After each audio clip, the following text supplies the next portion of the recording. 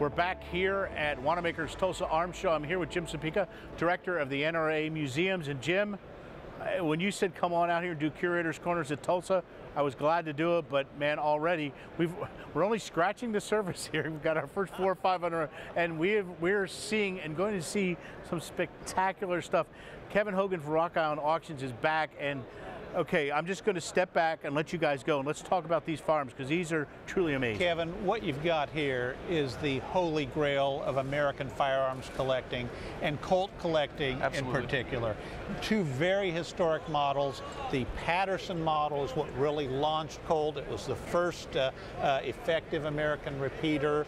Uh, beginning of the famous Colt name, and it was a dismal failure. He went broke making those. But he came back a few years later, a, uh, a, a, young captain that served with the Texas Rangers, was with the U.S. Mounted Rifles, said that repeating revolver is what we need instead of our single shot that's, pistols. That's right. I want it big, I want it heavy, I want it sturdy, I want it to take a big charge. And Captain Walker and Sam Colt put together the famous Colt Walker. It was the most powerful handgun until the introduction of the 357 Magnum. So powerful the metallurgy wasn't up to it. You find a lot of these with cracked cylinders, but this one sure doesn't have a cracked cylinder. They, they got rode hard and put away wet. This is about as pretty a Walker and as pretty a Paterson Colt as I've ever seen.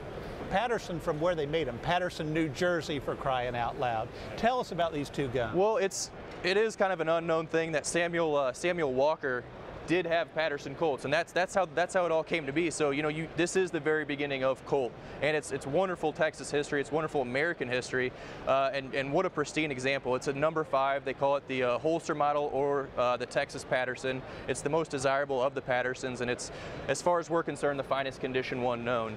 Um, we're talking, you know, shell-carved ivory grips. It does have an, it does have a, letter, a lever, excuse me, uh, six silver bands, and and you know, in guns, it's always antique firearms, condition, condition, condition. This is, uh, this is certainly that. You know, a, a, a brown patina Paterson is an incredibly valuable gun, but to find a Paterson with that much original finish on it, I have never seen one better. Uh, just a spectacular gun. Of course, it's cased with all the accessories. You've got a, a spare cylinder for a quick reload.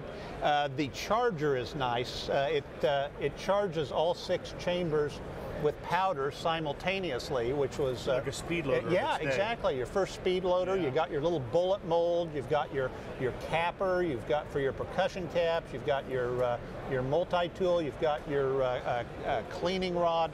Just and look at the condition of everything. everything you know, they, they talk about stuff yeah. getting you know cases get swapped and stuff yeah, gets high graded. Yeah, yeah, Look at you look at the condition from the charger to the mold to the to the gun itself to the actual case. It's uh, it just makes sense. That's how it's been. This gun was first offered in 1958 for $1,600 to put to put it all into perspective. Oh. $1,600. How, how, how, has the value done since then? Has it gone down? Oh, it's it's uh, appreciated quite nicely. Uh, we have it estimated at seven to nine hundred thousand dollars, uh, a fairly conservative in, in our estimation. Wow. Um, and, and, one of the cool things too that's not often discussed is uh, ownership history, the pedigree of yeah, it. This this yeah. comes out of the William Locke collection, as does the Walker. Um, they, they were also in the uh, George Repaire collection. So you talk about you know real icons in, in the collecting business, and, and both these guns come come from those collections. Now this Walker here is. Uh, extremely rare. Um, it, it's a well-known gun. They call it the thumbprint walker. It's actually a civilian. Of course, they made a thousand walkers, issued them in pairs to the Texas Rangers. This is a civilian-run gun.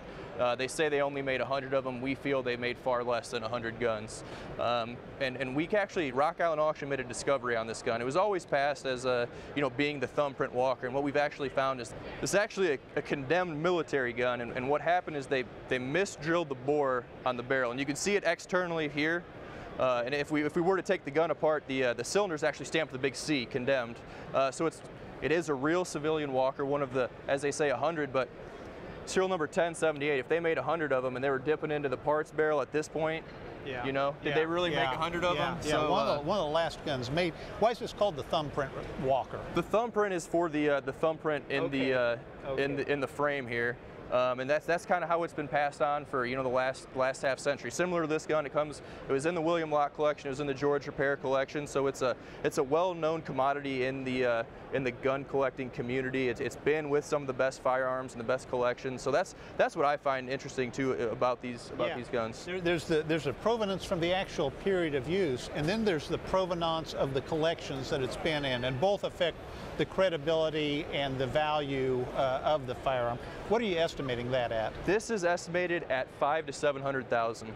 Um, so it's uh, it, it is what it is. It's you know if, if it's a hole filler, it's guys you know for civilian walkers, collectors have gone generations and never had the opportunity to own one because they are that rare. So if a guy's looking to fill a hole, if he's a military collector, if he's a Colt collector, this is you know potentially a once in a lifetime shot. Wow. And if they want to buy them from you and then loan them to the NRA museums, we There can you set go. them up at the National Firearms Museum in Fairfax, Virginia, or the NRA uh, National Sporting Arms Museum in Springfield, Missouri. They are spectacular guns. We got a million and a half dollars easy worth of Colts laying on the table. All right, I'm taking my hand off the table for Yeah. that one. So, hey, how can people get more information about Rock Island Auction? Uh, visit our website. That's the most effective way. www.rockislandauction.com. We do have an upcoming auction May 2nd, 3rd, and 4th, which is uh, these guns will be featured in it as well as the Lepage that we talked about earlier. Anybody can call up and bid on these, right? Absolutely. Cool. All right, Kevin, Jim, thank you for a spectacular edition here from Tulsa of the Curator's Corner. Back with more next week. We'll see you then.